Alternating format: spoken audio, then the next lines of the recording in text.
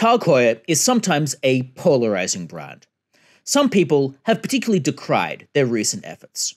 However, they have made some interesting watches. And in this video, I'm going to go over the Tag Heuer Professional 2000, which, as the name suggests, dates from around the year 2000. I'll talk about its aesthetics, so its case and materials, and I'll also talk about its movement. And in short, it's definitely a watch you might consider, however, it certainly does have some aspects of it that are rather archetypal of its time, and it's certainly one that might date the watch a little bit, but it is interesting nevertheless. The case size is unusual, being rather larger than it initially appears, and the movement, while not in house, is not terrible. It in fact is reminiscent of some recent Panerai efforts, being an ETA 2892 base with a Dubois Dépraz 2000 chronograph module. In fact, this is similar to the most recent Panerai chronograph. So I'm going to go over what this watch is like. Now, if you have any thoughts about this watch, do let me know those in the comments below.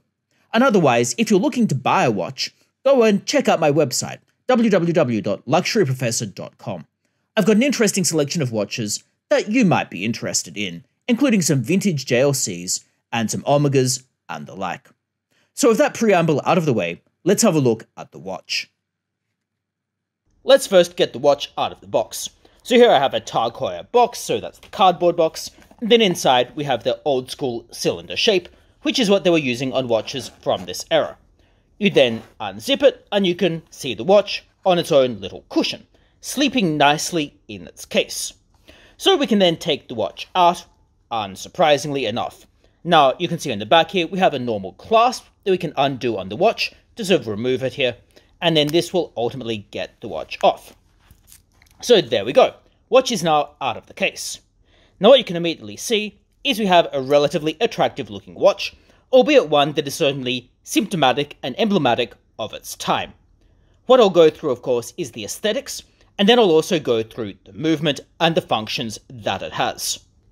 So let us start off with our exploration by looking at the case and the dial. As you can immediately tell, it's a champagne coloured dial, which is two-tone, so we've got the gold bezel here, and obviously the rest of it stainless steel colour. This continues through with the bracelet. So with our champagne dial, we have three inner dials. We've got effectively a small second dial at the top, and then the other two dials pertain to the chronograph. The hands, of course, are also champagne coloured, but the lume is wearing off with age. We also have a date marker here at the 3 o'clock area. So it is a relatively standard shaped dial. However, it's reasonably attractive in that everything sits together nicely. One thing that does tell the era from where this watch is from is the smallness of the dial as compared to the rest of the case. While the rest of the case is relatively large, and I'll get to the size in a second, the dial itself is much smaller than the rest of the case, with the bezel occupying a reasonable amount of real estate here. The bezel itself, like I mentioned, is in gold. Now, this will not rotate. It is a static bezel, which is good and bad in many ways. The good part is that you're not going to end up with a bezel in some weird location. The bad part is it does slightly reduce functionality. The front of it is, in my opinion, reasonably attractive, but like I said, the size of it does date the watch a little bit. The Tag logo here as well is at the 3 o'clock area, it's in its color logo from this time period. And as you can immediately tell, it's an automatic watch, with the 200 meters water resistance noted right here. In terms of the rest of the case, it's in angular stainless steel. The stainless steel is rather a matte finish here. The crown is signed with the Tag logo. We've got two chronograph buttons, and I'll come back to these when talking about the movement. If we go further around to the back, we can see we've got a bracelet here which you remove and open up in much the same way as you would an ordinary clasp, although it does get a little bit tight and slightly difficult to remove. So we can try to open this up right now, and you can tell immediately that it is a little bit on the tricky side to do so. So having opened it up, we can now open up this bracelet. Now on the back of the case, you can see the Tag Heuer logo, which is in a, um, in a gloss metallic here, and you can see various other information such as the model and the like on the back. So again, relatively standard back. We've got the Heuer logo in matte metal color here as well. Now, in terms of opening up the case, you'll obviously need to screw it, and you've got these uh, little markers here so you can screw out the case back. It is, of course, not a see-through case. So that's effectively what we're seeing in terms of the aesthetics. It's an attractive enough watch, although I would not necessarily say it is a modern looking watch per se, but it certainly is an attractive watch from the time period. It is increasingly difficult to find these in good condition. Many of them have the bezel beat up or the case beat up. This one is losing some lume on the hands, but that is a relatively easier fix than having to fix up the whole of the bezel or fix up some other major issue. The bracelet matches the rest of the watch, although the gold is slightly different tone to what's on the rest here. So we've got the end piece here. The golds are on slightly different a tone here. And again, slightly different tone to the dial and also to the bezel, which I find a little bit annoying, but nevertheless, it is what it is. In terms of the clasp, the clasp also has Heuer on it. Again, relatively unsurprising for what it is. So that's what we've got in terms of the aesthetics overall. It's an attractive watch, certainly one that I think looks like it's from its period, but is not so over the top out of date that I would feel uncomfortable wearing it. I think it is attractive enough as far as these watches go. In terms of the size, the size is an interesting one. The reason I say that is we've got the dial is rather smaller than the rest of the case. So if we try to measure the rest of the case, if we include the crown, it ends up actually being reasonably big if we include the crown. Including the crown, it is around 42, centi- 42 millimeters rather. If we exclude the crown, then it's around 39 to 40 millimeters. However, it does look smaller, which is a little bit of an issue. The reason it looks smaller is if we measure it just inside the bezel here to measure what the dial is. Measuring it just inside, we're looking at it looking like the dial is around, we'll go with around 30 millimeters. This means it loses rather a lot of its size by virtue of how it's set up. Furthermore, if we look at the lug width, the lug width is right here, and it is around the 21, 22 millimeters. But of course, you'd be wearing this with a standard bracelet, so the lug width is unlikely to be a major issue for you, unless the bracelet has gone missing or there's some other problem with the watch. So aesthetically, it's reasonably pleasing. There is, of course, lume around here, but the lume does, of course, tend to wear off. So if we cover it up, you can sort of see the lume coming out to play a little bit. And I'll try to show that a little bit better later on, but of course with age the lume is functioning less well than it originally was. So that's the aesthetics. Let's have a look at the movement. It is an ETA 2892 movement with a Dubois Dépraz chronograph module put onto it, because the ETA 2892 would not itself be a chronograph ordinarily. Now, while this might sound like it's a reasonably basic movement, it is a workhorse movement from the period. It has a movement speed of about 28,800 beats per minute.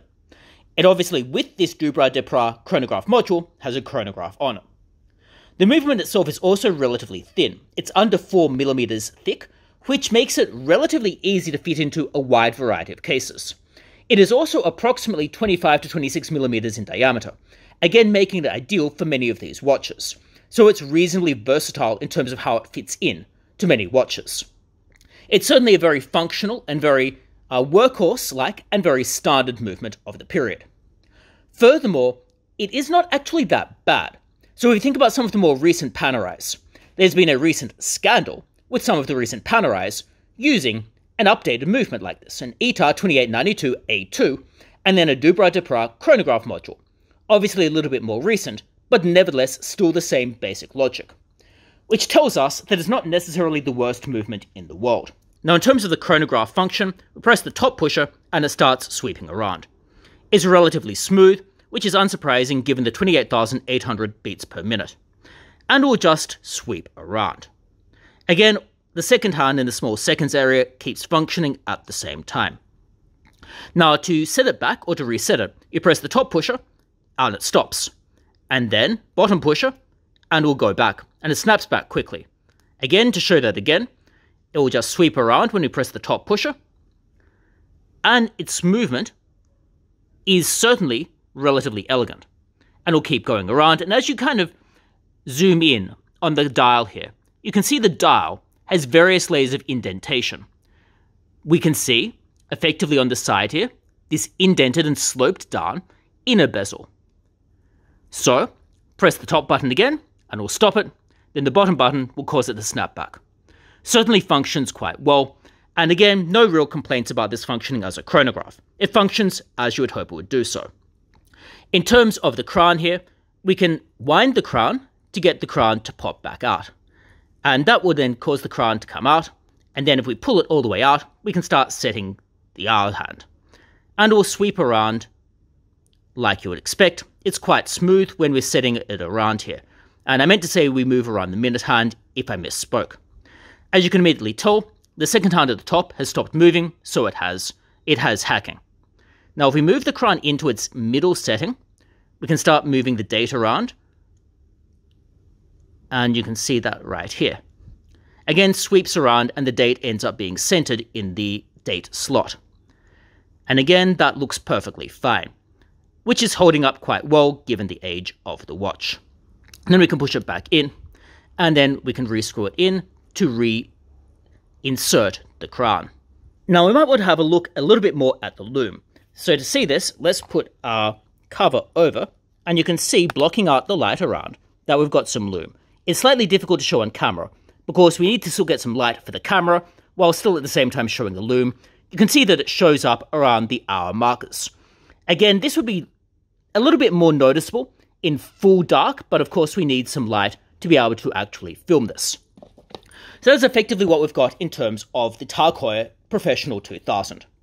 The 2000 series, while it was reasonably common at the time, has certainly held up well. It's becoming increasingly difficult to find good examples of these. It certainly is an attractive watch. It certainly is one that you might consider if you're looking for a watch from this era. And I'm reasonably satisfied with it. It's certainly an interesting looking watch, and certainly one that I would consider. Now, if you have any thoughts about this watch, let me know those in the comments below. And otherwise, of course, it would be great if you like the video and subscribe to the channel. And if you're interested in checking out some watches that I've got, check out luxuryprofessor.com. I've got some interesting watches available for sale, so go check that out. And otherwise, I hope to see you for future videos as well. Bye.